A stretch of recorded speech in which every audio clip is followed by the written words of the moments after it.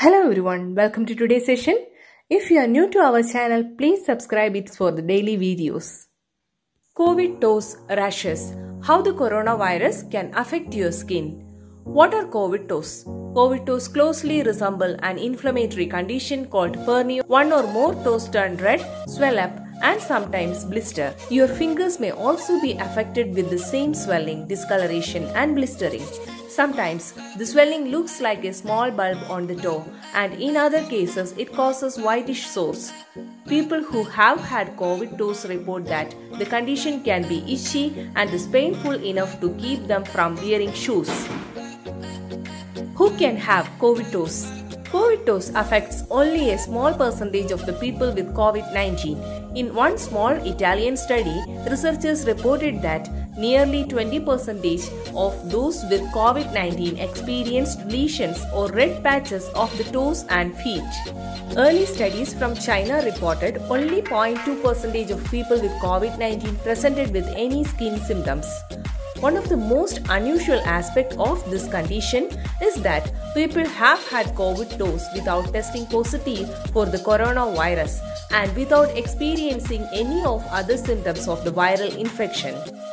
Some of the skin findings involving patients being treated for COVID 19 include hives, morbilliform rashes, chickenpox like rashes, livedo reticularis, petechiae, multisystem inflammatory syndrome. How long COVID toes last? While COVID toes go away without treatment, it is still too soon to know how long most people have the condition. Dr. Paller says it can last 10 to 14 days and in some patients have COVID toes for months. How is it treated?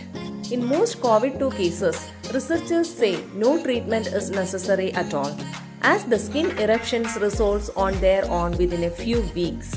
To reduce pain or itching, apply a hydrocortisone cream to the affected area. If this fails to bring relief or symptoms worsen, contact a board certified dermatologist. What should I do if I have the skin symptom? If I have this symptom, should I self quarantine? According to the information currently available from the Centers for Disease Control and Prevention, symptoms can appear 2 to 14 days after you have been exposed to the coronavirus.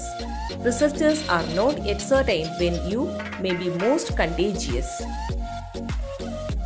Can you get COVID 19 from touching someone's toes? Being close enough to someone to touch their toes could put you within range to contract the coronavirus by breathing it in. The CDC reports that the coronavirus have been found in blood, stool, urine and respiratory fluids, but respiratory fluid appear to be the only source of live transmissible virus particles. Thank you. Have a nice day.